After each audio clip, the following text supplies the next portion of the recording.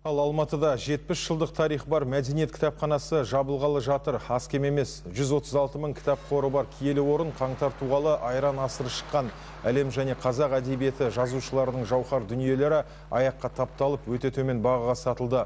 Құнды қазына тегінде үлестірілген айдың күннің аманында ірі кітапхананың талан таражға түсуі мәжбүрлікке ұқсайды. Анығын айтсақ, кітапхана жалғалып отырған ғимаратты қожайындары босат деген талап қойған, ал жергілікті билік бұл мәселеге араласпағанды жөн санапты. Осылайша әлемдік деңгейдегі әйгілі жазушылардың сирек кездесетін көп томдық туындылары сақталған құнды мұрағаты мол мекеме аз күнде азық түлік дүкеніне айналмақ.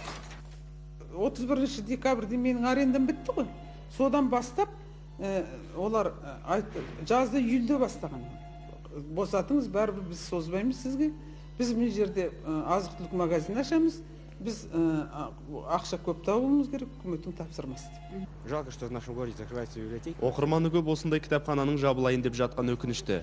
Өйткені қазір өз құрбы құрдастарым онсыз да кітап таз оқиды ал мұндай кітапханалар сақталса тұрғындарға рухани байлық сыйлар еді.